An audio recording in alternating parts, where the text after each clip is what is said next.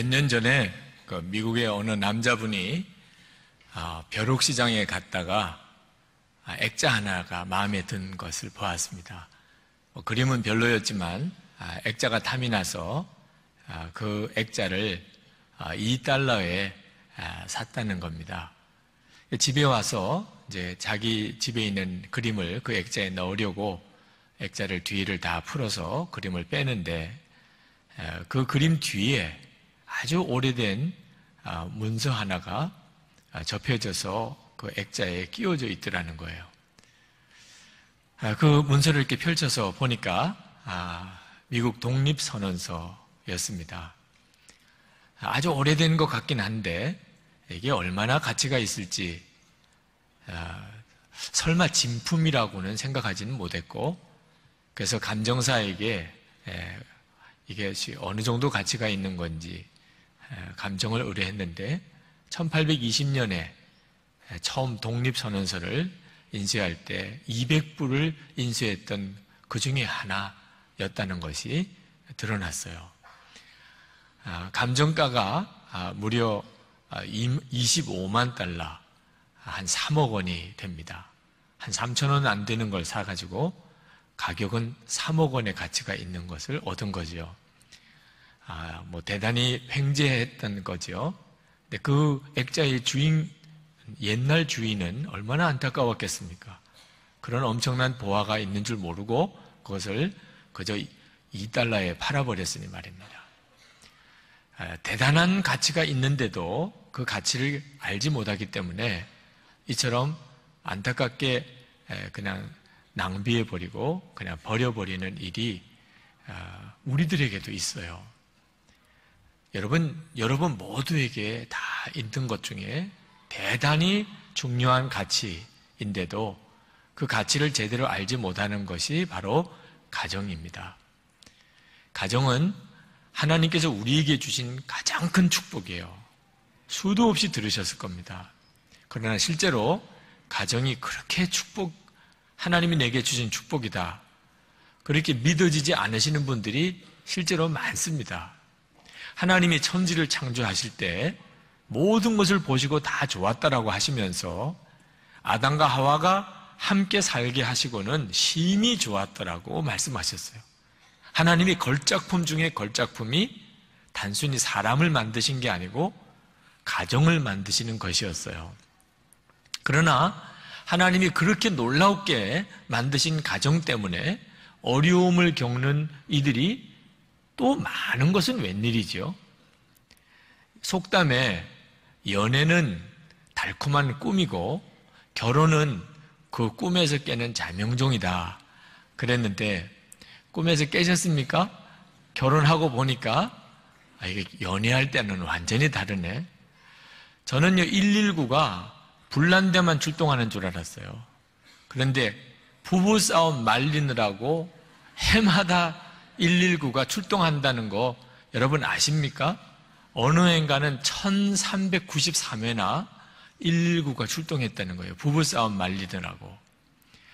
그러니 가정이 하나님이 우리에게 주신 정말 축복의 걸작품이다.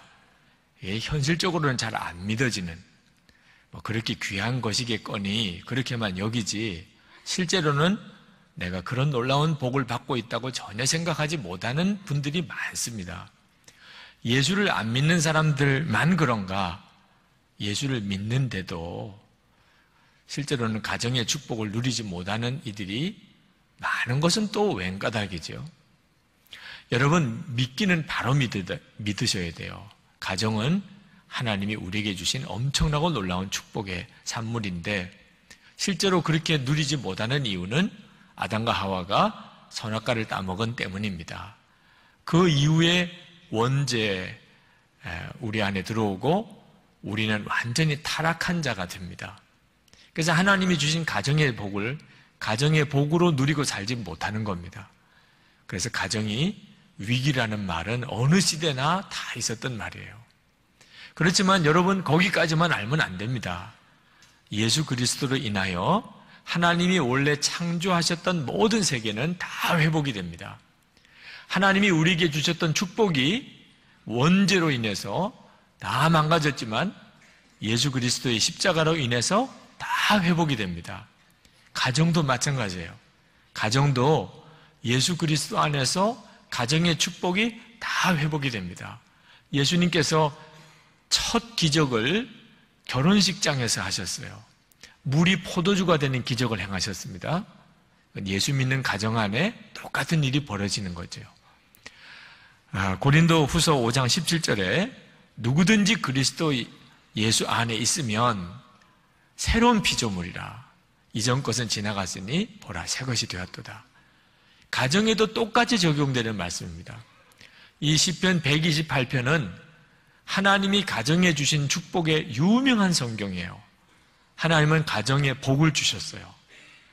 창세기에 나오는 하나님이 심히 좋았더라고 말씀하신 이유가 있어요. 하나님은 가정을 이렇게 복을 주셨어요.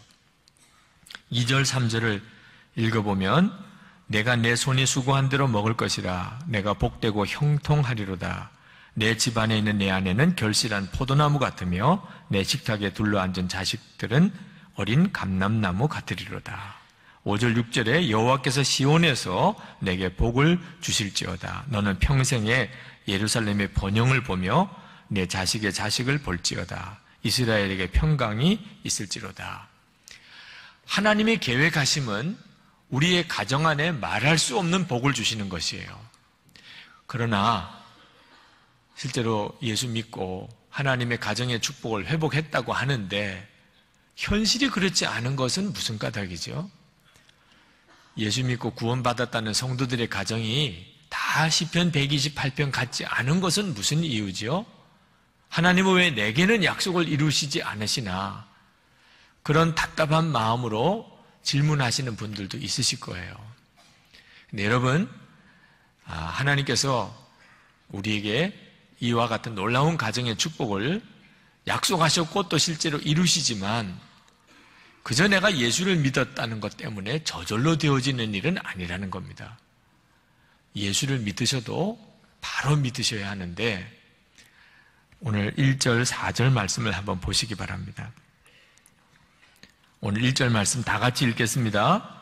여호와를 경외하며 그의 길을 걷는 자마다 복이 있도다. 4절 말씀입니다. 여호와를 경외하는 자는 이같이 복을 얻으리로다. 아멘. 자, 하나님께서 가정에 복을 주시는데 반드시 이렇게 되어야 한다는 거예요. 그것은 간단해요. 여호와를 경외하는 자여야 한다는 겁니다. 여러분 예수를 믿으면 반드시 여호와를 경외하는 자가 됩니다. 하나님을 모르고 살았을 때는 하나님을 경외하는 것도 모르죠. 하나님이 계신지 자체도 모르는데 그런데 예수를 믿으면 우리 생명이 영원히 살고 내 영이 살고 하나님을 알게 됩니다. 그저 하나님을 아는 정도가 아니고 하나님을 경외하게 돼요. 여러분, 여러분이 예수를 믿는다는 것이 단순히 여러분의 죄가 예수님 때문에 사함을 받았다. 이 정도 믿는 거는 예수 믿는 진짜가 아니에요. 예수님이 내 구주이실 뿐만 아니고 이제는 예수님이 나를 위해서 죽으셨고 나도 예수님과 함께 죽었으니 이제 예수님의 생명이 내 생명이 되셨고 예수님은 내 주님이시다. 이렇게 믿어져야 예수님을 진짜 믿는 거예요. 예수님은 내 주님이고 내 왕이신 거예요. 여호와를 경외한다는 말은 예수님이 왕이시라는 거예요. 여러분 가정에 여러분이 예수를 믿으셨기 때문에 하나님이 여러분의 가정의 왕이 되시는 것이 바로 하나님이 가정을 축복하시는 열쇠가 되는 겁니다. 하나님을 정말 왕으로 섬기면 우리가 가정에서 그러면 하나님이 약속하신 가정의 축복이 그대로 이루어져요. 그건 하나님이 하시는 일이에요. 우리가 노력해서 되는 일이 아닙니다. 그러면 여러분의 가정에서 하나님이 왕이신가를 한번 여러분 한번 물어보셔야 합니다. 여러분의 가정에 왕이 있어요. 어느 가정이든지 왕이 있어요. 아버지가 왕인 경우도 있고, 어머니가 왕인 경우도 있고, 자식이 왕인 가정도 있습니다. 여러분 가정에 하나님이 왕이세요? 어느 가정에나 그 가정에서 제일 귀하게 여기는 것이 있어요. 돈을 제일 귀하게 여기는 가정도 있고요. 세상 성공을 가장 귀하게 여기는 가정도 있습니다. 하나님이 가장 귀하게 여김을 받으십니까? 여러분 가정에서? 하나님 왕이시라는 말이 조금 거부감이 들거나 부담스러운 분이 혹 계시다면 정신 똑바로 차리셔야 돼요. 하나님이 우리 가정의 왕이셔야 된다는 말은 하나님이 뭐 대접받고 싶으신 마음 때문에만 아닙니다. 고린도전서 2장 12절에 보면 우리가 세상의 영을 받지 아니하고 오직 하나님으로부터 온 영을 받았으니라고 했습니다. 사람들은 마음의 중심에 두 영의 지배를 받아요. 하나님의 성령의 지배를 받든지 세상의 영의 지배를 받아요. 둘 중에 하나밖에 없습니다. 가정도 마찬가지입니다. 이 가정의 왕이 하나님이시든지 이 세상의 영, 마귀든지 둘 중에 하나밖에 없어요.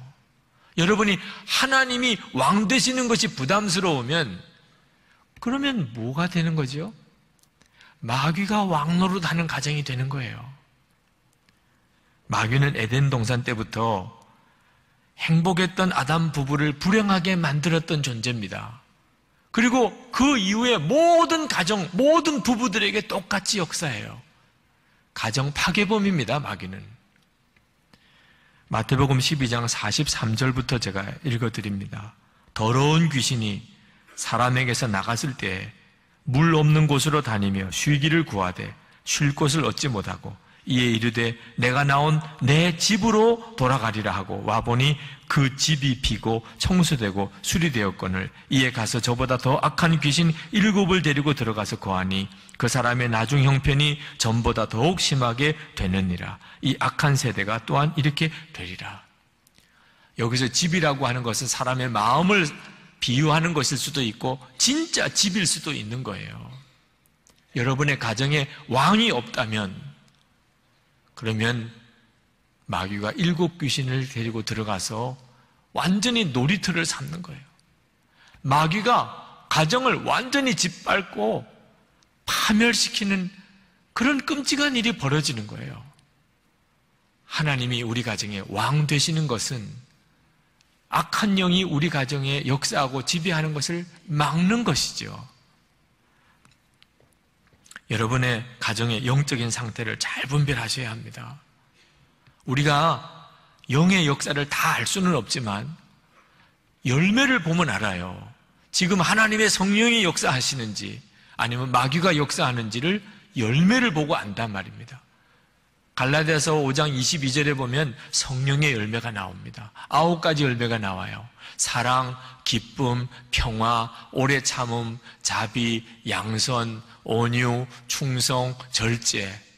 가정 안에, 가족들 안에 이런 열매들이 맺어지면, 아, 우리 가정에 하나님이 역사하시는구나. 우리 가정은 성령이 덮고 있구나. 알 수가 있어요. 열매를 보니까 알 수가 있는 거예요. 그런데 갈라디아서 5장 19절에서 21절에 보면 악한 영이 역사하면 어떻게 되는가가 나옵니다. 현대어 성경으로 제가 풀어 읽어드리면 음란함, 더러움, 방탕함, 점치고 부족을 붙이는 일, 마술 행하는 일, 원수 맺는 일, 다투는 일, 시기, 분냄, 분쟁, 분열, 파당, 질투, 술 취함, 흥청망청 먹고 마시는 노름이라고 했어요. 여러분의 가정 안에 열매를 보면 그 뿌리인 영의 역사를 안단 말입니다. 여러분 가정을 영적으로 잘 분별해야 돼요.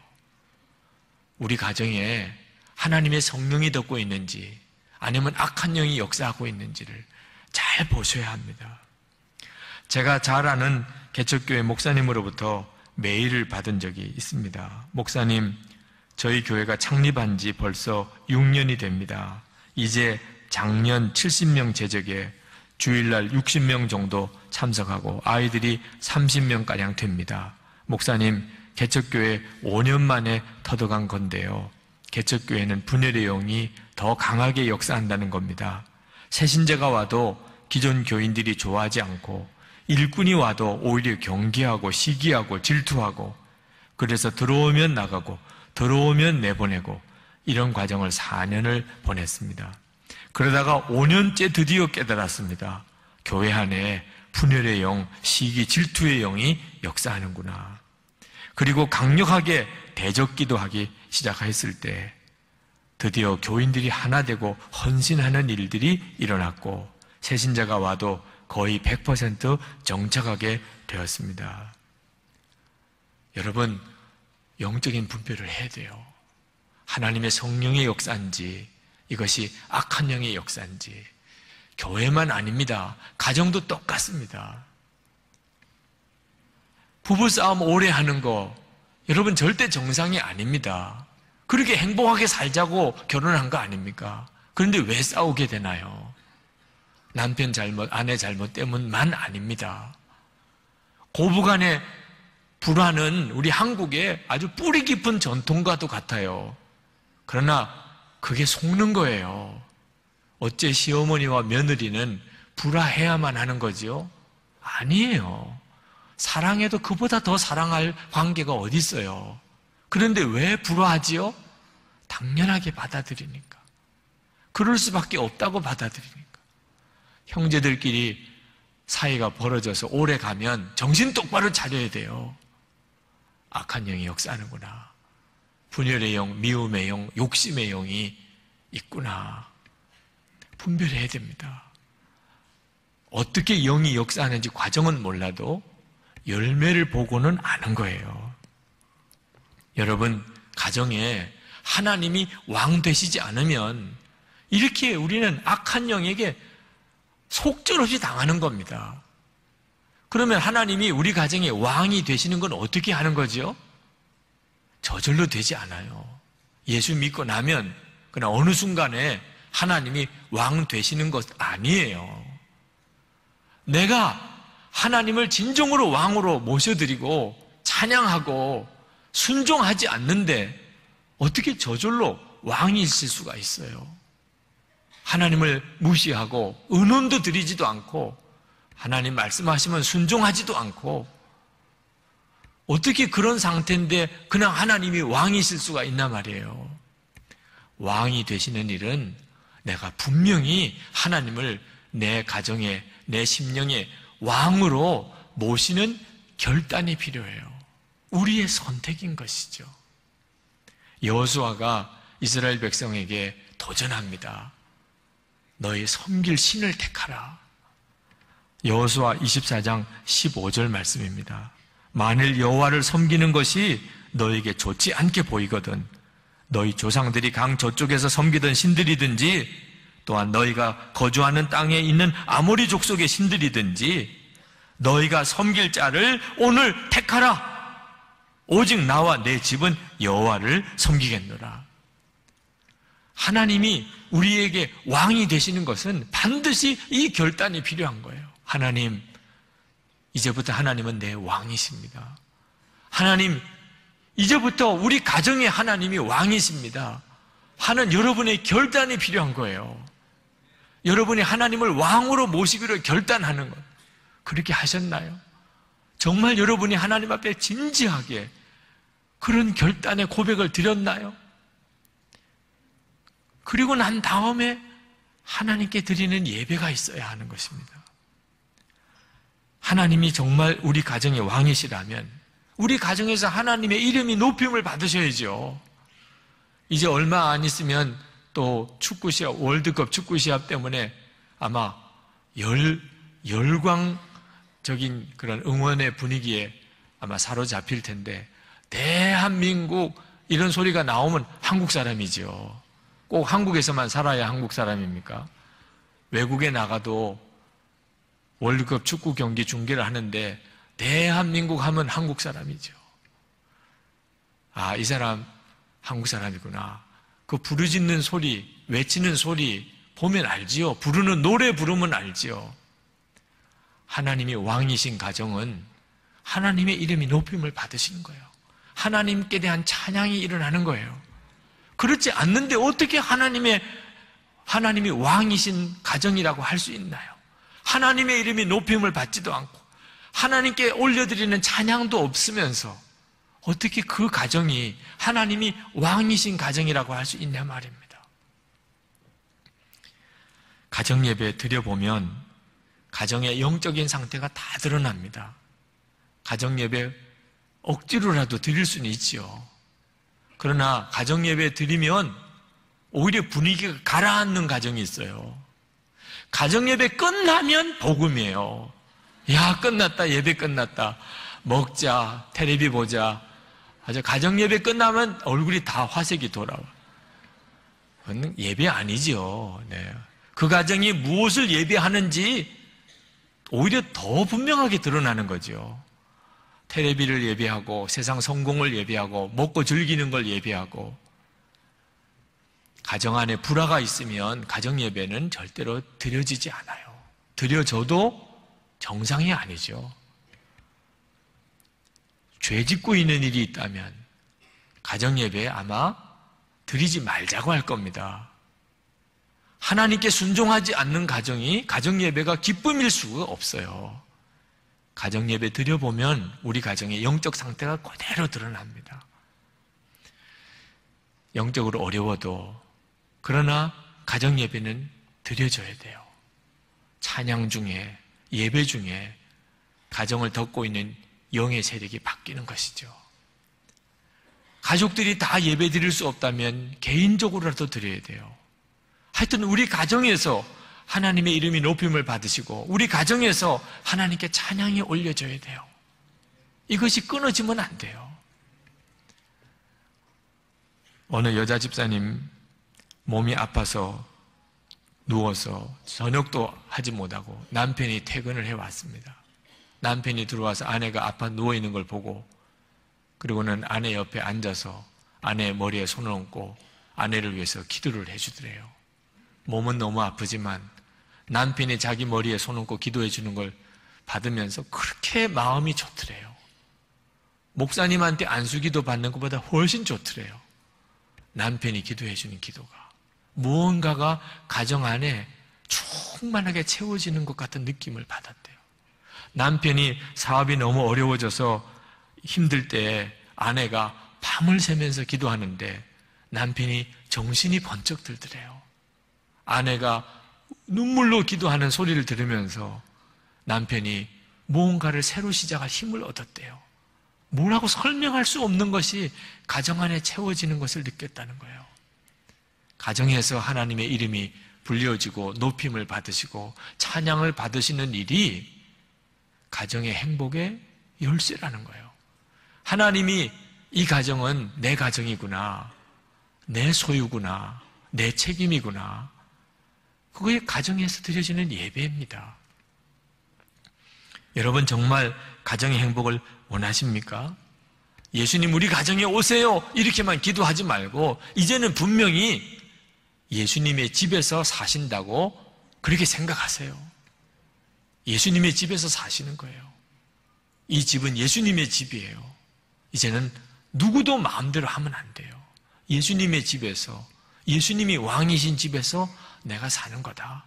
여러분이 이제는 정말 그렇게 생각하시고 사시는 것이 필요해요.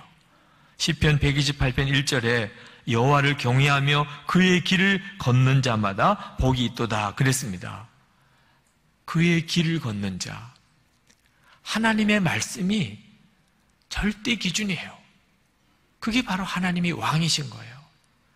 가정의 대소사 일이 있을 때마다 남편의 말이 가정에서 통합니까? 아내의 말이 통합니까? 부모님의 말이 통합니까? 자식의 말이 통합니까? 하나님의 말이 통해야 하는 거죠. 모든 가족들이 정말 그렇게 인정하고 그렇게 결단하면 하나님이 하라는 대로 해야지. 하나님이 하라는 대로. 그러면 하나님이 가정을 책임져 주신다니까. 안타깝게도 예수를 믿는다고 하면서도 하나님의 말이 통하지 않는 사람이 있어요. 오히려 마귀가 하는 말이 통하는 집이 있어요. 마귀가 하자는 대로 하는 사람이 있어요. 그건 정말 정신 차려야 하는 겁니다. 그렇게 하면서 어떻게 하나님이 왜 약속을 안 지키시냐고 어떻게 말을 해요? 하나님의 말이 통하지 않는데 사람의 말이 또 그 뒤에서 배우의 역사는 사탄의 말에 따라 살면서 어떻게 하나님이 가정을 축복해 주시기를 기대하나 말입니다. 어느 집사님이 남편 전도를 하는데 편지를 써서 결실을 보았다고 간청을 하시더라고요. 그동안에는 말로 전도를 했는데 기도 중에 어느 날 하나님이 너는 말하지 말고 편지를 쓰라. 깨달았대요. 말에 실수가 많았어요. 마음은 안타깝지만 말을 하고 보니까 항상 실수가 많았어요.